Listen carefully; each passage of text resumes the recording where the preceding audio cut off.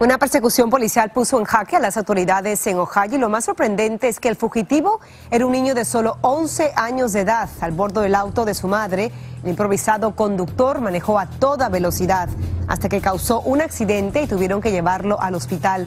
Allí confirmaron que en el pasado el menor protagonizó otros dos hechos muy similares.